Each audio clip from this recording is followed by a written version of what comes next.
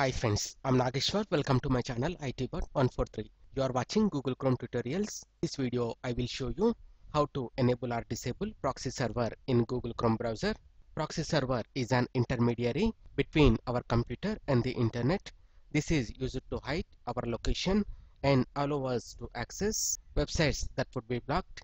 Also offers better security for our personal network using in our office. Come to Chrome to enable or disable this, click on menu button and select to settings. Scroll down and click on advanced option. Under advanced options, select to system and click on open your computer's proxy settings in right panel. Then it will open internet properties window.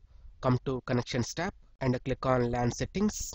Under proxy server in local area network settings, uncheck the box that says use a proxy server for your LAN to disable the proxy server and click on OK to accept the changes.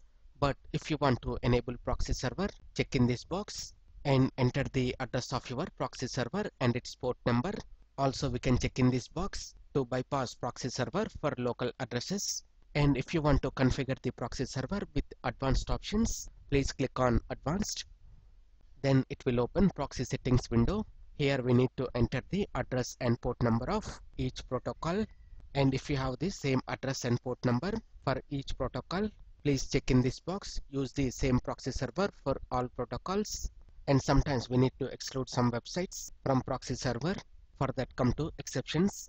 And by entering their addresses in the text box showing under do not use proxy server for addresses beginning with. And if you have multiple entries please use semicolons to separate those entries. And finally click OK to accept the changes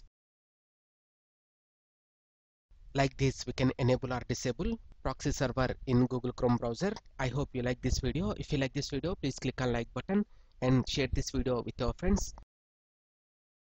ITbird143 to watch more latest uploaded videos and don't forget to subscribe my channel.